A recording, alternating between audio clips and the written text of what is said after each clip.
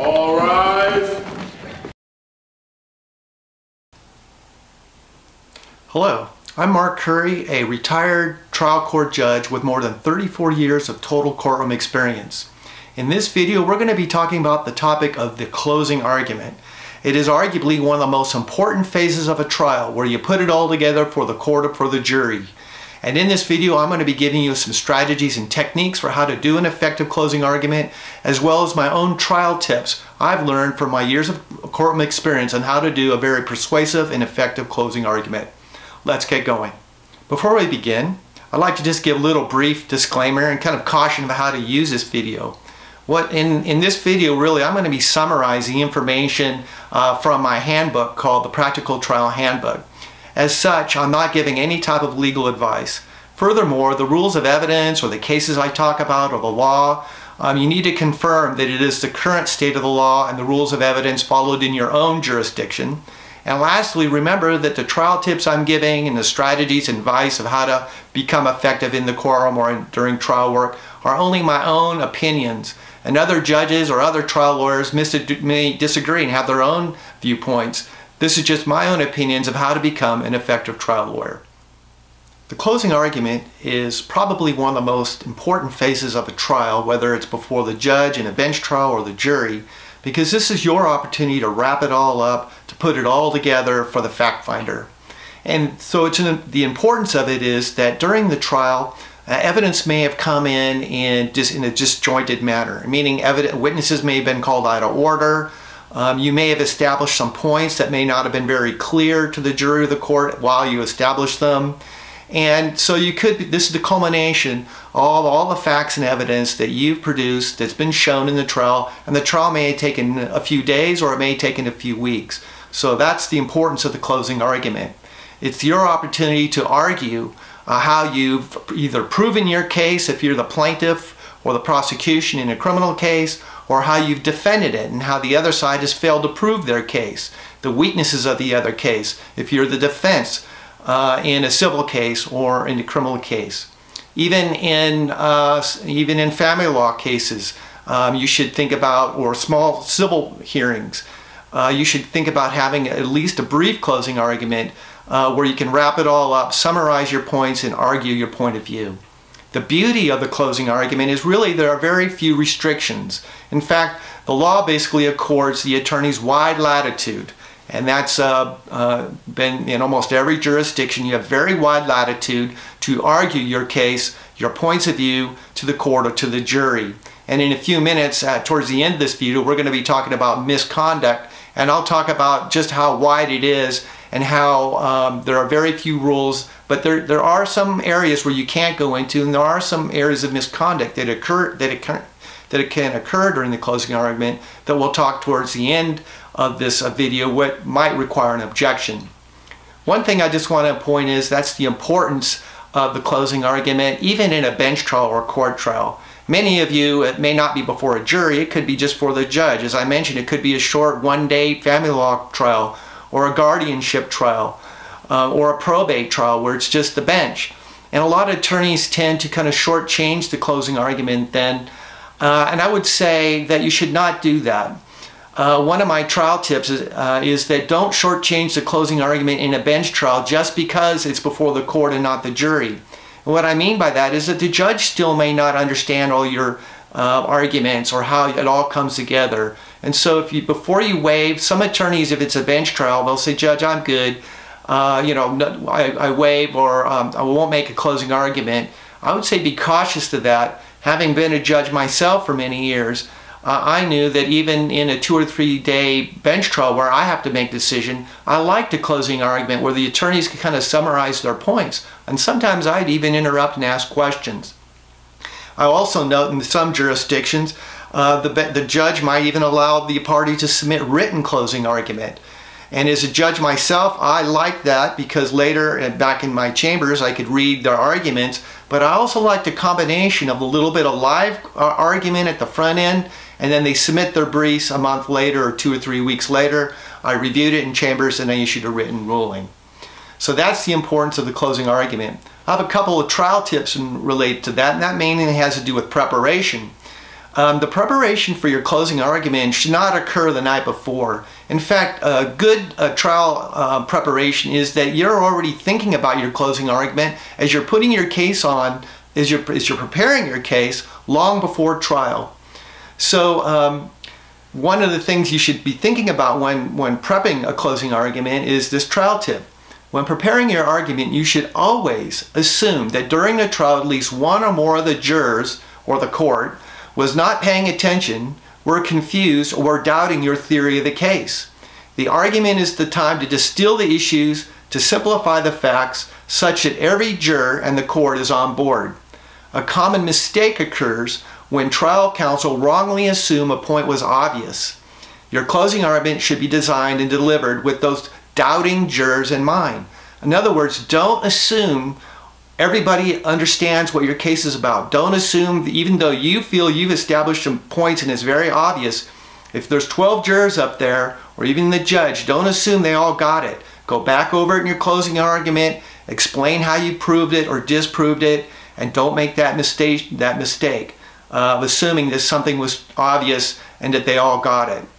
Um, another, here's another trial tip that I think might help you and that is um, some lawyers miss important points for argument simply because they did not keep good trial notes. Keep a notepad handy at your counsel table to jot down um, some points you'd like to later cover in your argument. Otherwise, you might forget.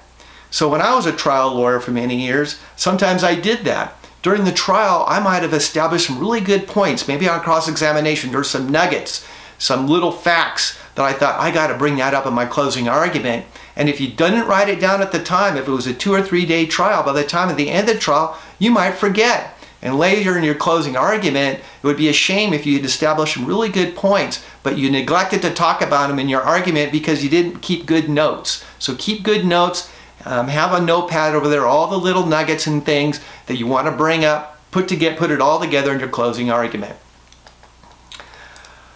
Uh, let me just talk a little bit about the importance of visual aids and exhibits in your closing argument. For example, a PowerPoint-like uh, presentation. You know, many studies have shown that when people and jurors uh, see things and hear it simultaneously, they have a much higher retention rate. And so that's why I think that even for the smallest of cases, even if your trial only lasted a day or two, during your closing argument, use a PowerPoint like, I say PowerPoint like because there's others out there and I'm not endorsing any particular one, but where you can slow, show the jurors slides with bullet points and have your slides track your argument so the jurors can see the points you're making point by point as you go down through it. I mean, here's a, here's a trial tip in that regard.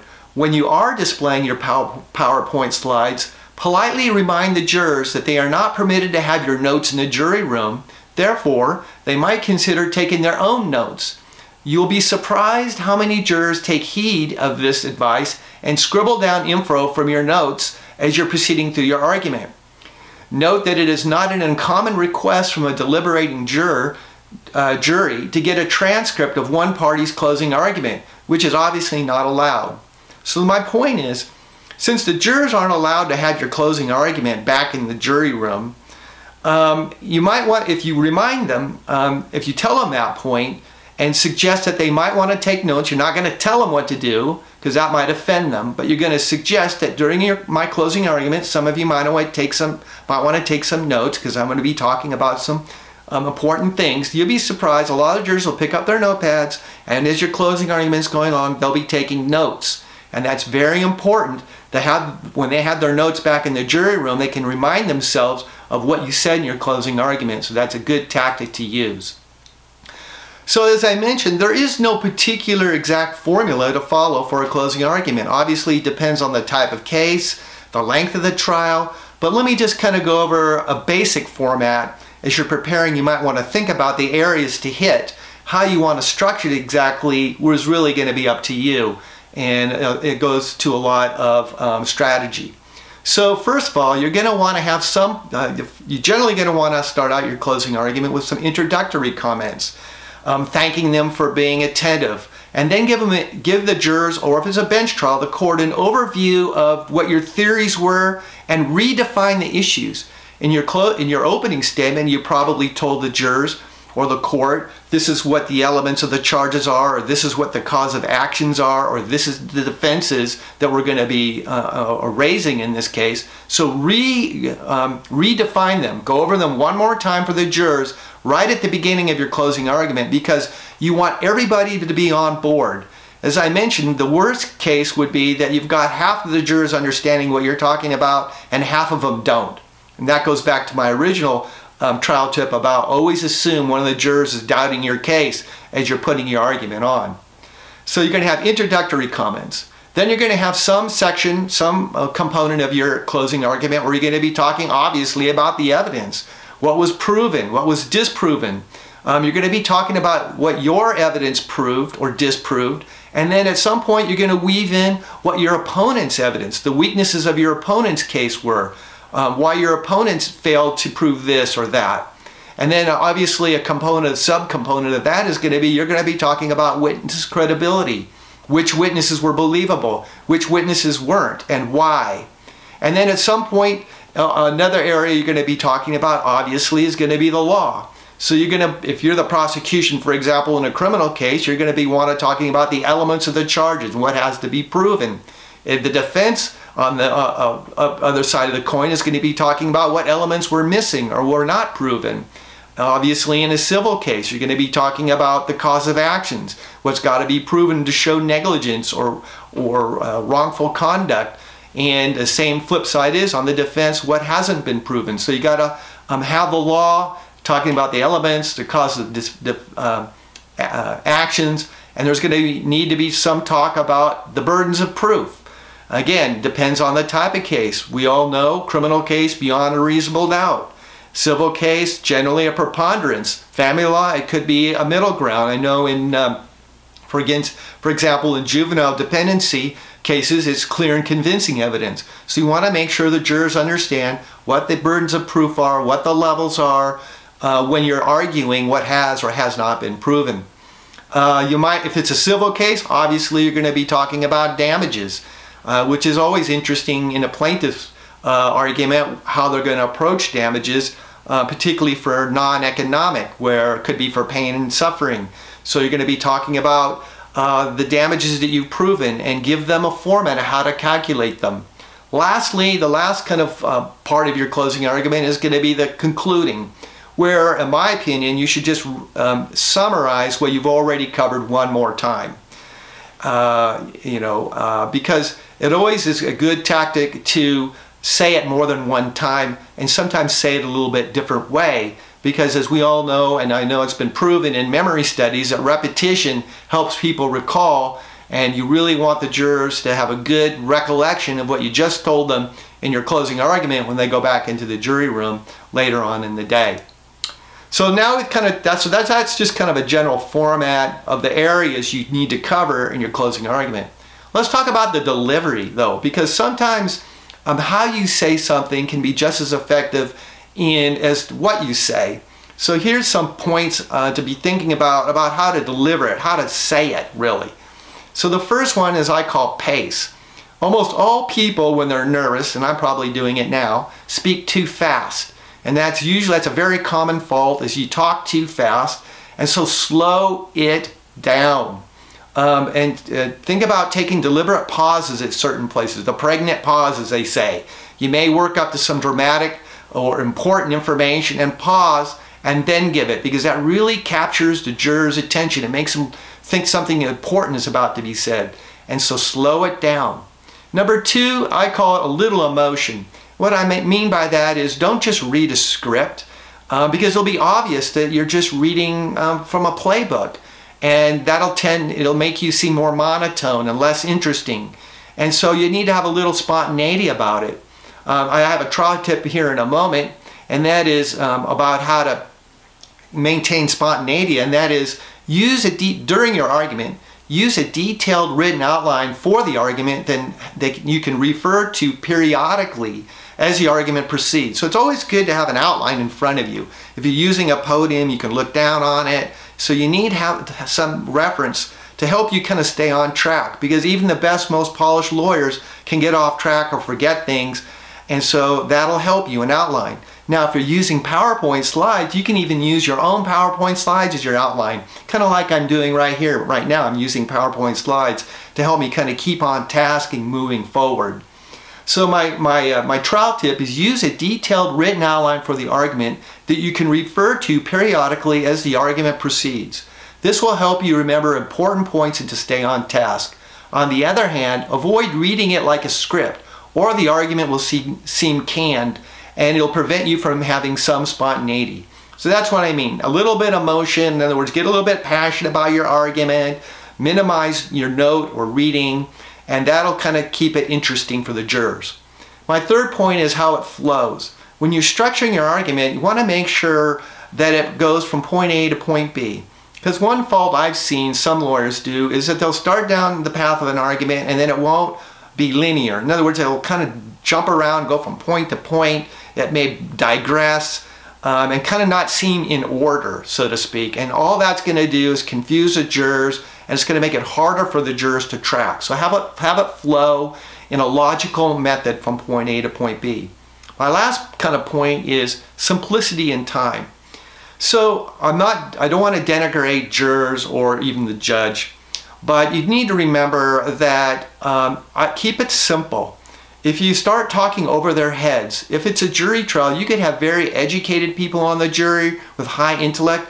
You could have people that are not so well versed in uh, intellect or the law or maybe in um, whatever area you're talking about. So I, I tell jurors, again, I mean, I tell attorneys when I've lectured to them to try to keep it about a sixth grade level. And again, I'm not don't want to insult anybody, but you want to capture everybody's attention. Keep it simple. Break in the point sim simplicity. In other words, so don't make the argument too complex and be careful about speaking over the jurors' heads or even the court. Uh, remember about court trials, and I've heard many of them, is that the judges are very busy, and this could have been the second or third bench trial the judges heard this week. And sometimes if the attorneys want to present their written argument and the judge has to revisit it a couple weeks or uh, you know take it under submission as we call it, it's difficult for the judge to remember, remind him or herself what the trial was about. So that's why you need to work and keep it simple, keep it organized, and um, about time.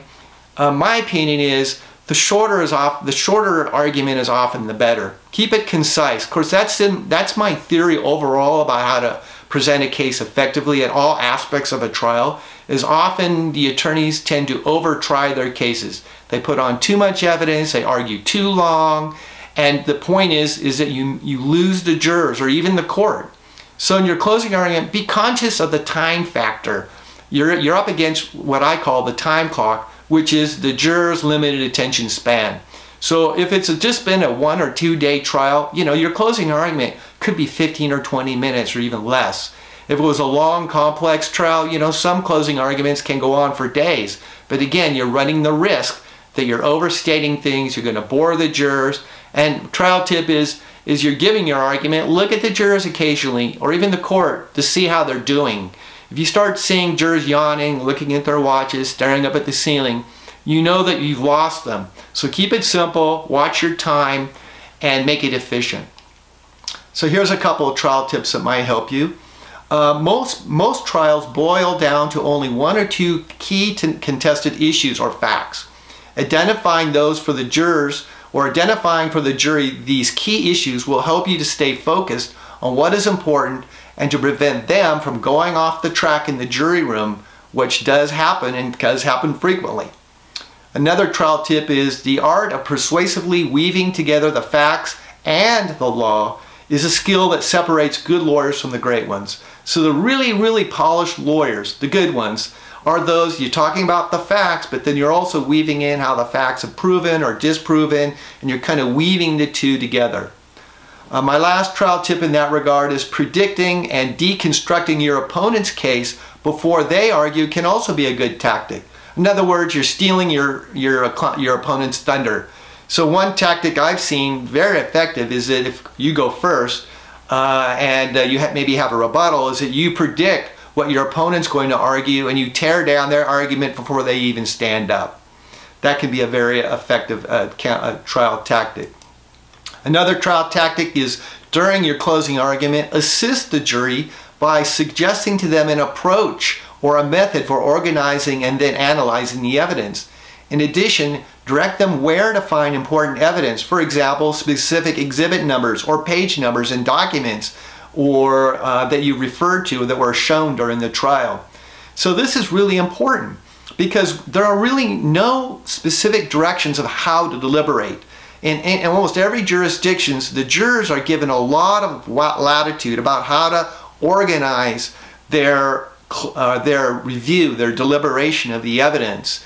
If it's been a two or three or four day or a couple weekday trial, they'll get a pile of evidence with really no instruction book, no playbook about how to deliberate, um, how to organize it in any kind of fashion.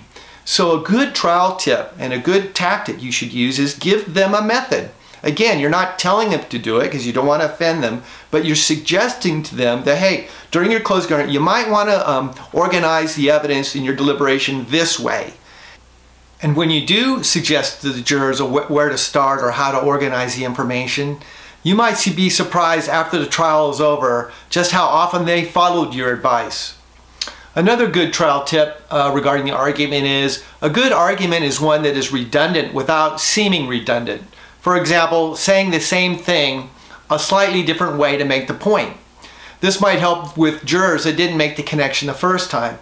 It kind of goes back that generally redundancy is a good thing. The more time the jurors hear it, the more likely it is they're going to retain it and understand it. So a good argument would make the same point uh, perhaps different ways. One time in your introduction, one time as you explained it, the meat of your argument, and maybe a third time when you summarized it, you re-emphasized, restated the most important key issues uh, and your theory of the case to help the jurors get it. All right, so that's kind of the overview of the argument. Now let's talk a little bit about misconduct and the latitude that you're permitted during a closing argument. As I mentioned at the beginning, uh, the courts allow wide latitude, but there are limits. And I thought what I might do is share with you a little bit of what some courts have said about the latitude you're given during your closing argument. So here I'm going to quote from several cases. Quote, the right of counsel to discuss the merits of a case, both as to the law and facts, is very wide, and counsel has a right to state fully his or her views as to what the evidence shows and as to the conclusions to be drawn fairly therefrom. The adverse party cannot complain if the reasoning be faulty and the deductions illogical, as such matters are ultimately for consideration of the jury. Um, counsel may vigorously argue his or, her, his or her case and is not limited to Chesterfieldian pol politeness. That refers to Sir uh, Chesterfield was a um, uh, from the 16 and 1700s back in England wrote a list of rules of how to uh, be polite. So the courts have said you're not limited to Chesterfieldian politeness. Uh, so that means you can be pretty vigorous as long as you don't personally denigrate opposing counsel. Um, and here's an, another quote from a, co a court says an attorney is permitted to argue all reasonable inferences from the evidence and only the most persuasive reasons justifying justify handcuffing attorneys in the exercise of their advocacy within the bounds of propriety. So the point I, is that um, when we come to misconduct, um, you are permitted to argue your theories, you can argue your interpretation of what the facts showed, you can argue your, inter your interpretation of what the law is. But where you can run into an objection is, and the most common one I found, is when counsel misstates the law or misstates the facts. And I'm talking more than just their interpretation, but outright misstates the law or facts. So for example, during the closing argument, if your opposing counsel literally misstates the elements or gets the, the law completely wrong, then an objection might be uh, well taken at that point where you would object, Your Honor, misstates the evidence or object, Your Honor, misstates the law. Obviously, if counsel completely has misstated what, what the evidence was at the trial, then an objection might be appropriate. Another objection that might uh, that typically would apply generally is that if an attorney or a counsel tends to make more of an emo emotional appeal. In other words, you're asking the jurors not to follow the law or the facts, but make it make a verdict or a decision based on sympathy or passion or pity. uh, or for some societal reasons to, to make a point uh, or something to that effect. That would be prohibited. Another rule, uh, prohibited area of um, argument is called the golden rule. And essentially that's where you're asking the jurors to put themselves in the place of the victim and see the case through the victim's eyes or the plaintiff's eyes and what they had suffered. Obviously, it could be misconduct for counsel to make personal um, disparagements about opposing counsel, personal attacks, that kind of thing. Now, in criminal cases, um, prosecutors are held to even higher standard due to their ethical duties. And we're not going to go into all of that. That's really beyond the scope of this short video. But just to kind of summarize some of the more common ones are that prosecutors are um, prohibited from commenting either directly or impliedly about the fact that the defendant chose to exercise his Fifth Amendment right to silence or that he invoked his Miranda rights when he was arrested. Um, prosecutors can't vouch for witnesses. In other words, they can't make it seem as if they know something about the witness that the jurors don't, or vouch for their truthfulness, or make their own personal opinion about what they think about the evidence, since they're basically agents of the government. And lastly, prosecutors can run into trouble when they make an argument that seems to shift the burden uh, to the defendant or water it down. So those are just areas to keep in mind. And again, beyond a little bit beyond the scope of this videotape. One of the questions you might have is if you're you're sitting there and you think that your opposing attorney has misstated the law or the facts, do you object or not? And this is kind of more of the tactical reasons. The first thing to remember is that the objection must be timely. So you can't wait until your opponent completes his or her argument and then make an objection or a complaint. It has to be timely, meaning right when it happens. As soon as you hear counsel misstate the law, objection, your honor, counsel's misstated the law. In some jurisdictions, if there has been an error or misconduct, or uh, and the judge sustains your objection, you must also make a motion to have the jury admonished, an admonishment. Uh, your Honor, I would request uh, to please admonish the jurors to disregard counsel's statements on to that effect, or something like that. Some jurisdictions require a request for an admonishment in order to perfect the issue on appeal. So one of the uh, trial tips I have is whether uh, to object during your opponent's argument is a tactical decision and depends upon the severity of the transgression. If counsel has blatantly misstated some fact or law, an objection might be in order. On the other hand, if it is relatively minor, repeatedly objecting may not sit well with the jurors. Whether or not you have a rebuttal argument still to come would also be a factor, obviously. And my final trial tip in this regard is a failure to make a timely uh, objection, as I just had talked about a few minutes ago, um, can have a significant impact on how the appellate court treats the alleged error. In addition, a failure to object is a, a common grounds for IAC in criminal cases. Uh, what that means is if you don't object or you don't make a proper objection, the appellate court down the road uh, will deem it waived, forfeit, forfeited. And also in criminal cases, if let's say the prosecutor committed misconduct and you and the defense attorney did not object, then on a, on appeal, one of the common attacks is that his the, the defense attorney was incompetent for not objecting. So there's a lot of reasons why you may uh, or may not object. Again, it generally is tactical. Uh, and the specific types of things that relate, for example, to criminal cases, again, are beyond the scope of this handbook. So that pretty much completes my this short video on the closing argument. I hope you found it helpful. If you want more information or more detail about what we've been talking about, please visit my handbook called the Practical Trial Handbook. It's available on Amazon Books. And in that handbook, I cover a, a, trial, either a court or bench trial from beginning to end, from the motion in limine all the way through to the closing argument like, we, like we've been talking about now, and everything in between. Jury selection, motions, opening statements, cross-examination, how to put on evidence, uh, how to impeach a witness. All of those things are covered in my handbook with, and it's full of trial tips like we've been talking about today of things I think are important that you really can't find in the more formal trial handbooks. So see the links below if you're interested in the handbook. Also, if you like this video, please give it a like and visit uh, and subscribe to my channel because I'm going to be putting out more videos, short videos like this to kind of complement my handbook. And thank you very much for your attention and good luck in the courtroom.